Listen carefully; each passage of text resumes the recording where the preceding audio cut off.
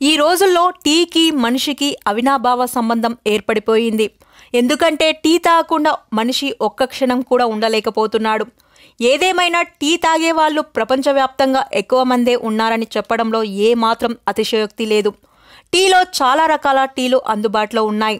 Black tea అని అల్లం tea అని గ్రీన్ టీ అని కోల్డ్ టీ అని ఇలా చాలా రకాలుగా ఉన్నాయి. టీని ఇష్టపడేవారు ఎంతమంది ఉన్నారో టీని అసహించుకునేవారు కూడా అంతే మంది ఉన్నారు. మీకు గనుక టీ అంటే ఇష్టమైతే మీకు అన్నీ గుర్తుంటాయి. ఏది అడిగినా ఇట్టే చెప్పేస్తారు. ఏంటి?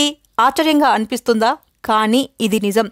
రోజు టీ తాగేవారిలో మతిమరుపు దూరమై చక్కని జ్ఞాపక శక్తి కలుగుతుందని తాజాగా నేషనల్ యూనివర్సిటీ ఆఫ్ సింగపూర్కి చెందిన డాక్టర్ ఫెంగ్లీ ఒక పరిశోధన ద్వారా తెలుసుకున్నారు. ఆ వివరాలేమిటో ఇప్పుడు చూద్దాం. నిద్ర లేచింది మొదలు నిద్రపోయే వరకు మనిషి జీవితంలో టీ పాత్ర అమోఘమైంది.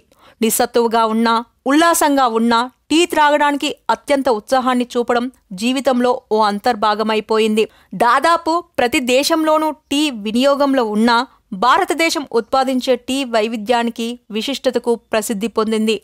టీ సహజమైన పానీయం. దీనిలో రసాయనిక పదార్థాలు గాని కృత్రిమ సువాసనల ద్రవ్యాలు గాని ఇతర రంగులు గాని చేరి ఉండవు. ఇది ఆరోగ్యదాయకమైన మరియు శక్తిదాయకమైన పానీయం. దీనిలో విటమిన్లు ముఖ్యంగా బి గ్రూప్ విటమిన్లు రైబోప్లేవిన్ మరియు నియాసిన్ ఉంటాయి.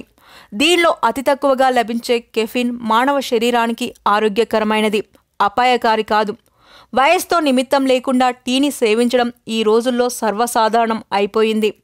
అది బ్లాక్ టీ కానీ గ్రీన్ టీ లేదా సాధారణ ఛాయ్ కానీ ఏదైనా క్రమం తప్పకుండా టీ తాగేవారిలో యాభై శాతం మందికి డిమోన్షియా వచ్చే అవకాశాలు చాలా తక్కువ అంటున్నారు పరిశోధకులు.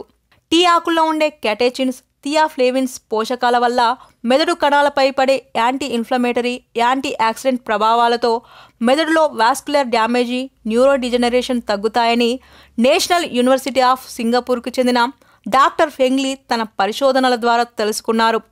అలసట నిద్రలేమి పని ఒత్తిడి పెరుగుతున్న వయసు వల్ల చాలామంది మతిమరుపు వ్యాధికి గురి అవుతున్నారని గణాంకాలు చెబుతున్నాయి. దీనిని తగ్గించుకొని జ్ఞాపక శక్తిని పెంచుకునేందుకు చేసిన పరిశోధనల్లో భాగంగా టీకి మతిమరుపుని పోగొట్టి జ్ఞాపక శక్తిని పెంచే సామర్థ్యం ఉందని ఫెంగ్లీ గుర్తించాడు. మతిమరుపు డిమోన్షియా అల్జిమస్ పార్కినన్స్ డిసీజ్ వంటి వ్యాధులకు దూరంగా ఉండాలనుకునేవారు. కాస్త ఛాయ్పై ప్రేమ పెంచుకుంటే అది మతిమరుపును దూరంగా తరిమేస్తుందంటున్నారాయన. కాబట్టి టీని దూరంగా పెట్టకుండా టీ తాగడం కంటిన్యూ చేస్తే క్రమక్రమంగా మీలో ఉన్న మతిమరుపు పోయి జ్ఞాపక శక్తి పెరుగుతోంది. కాబట్టి ఈ విషయాన్ని గుర్తుంచుకోండి.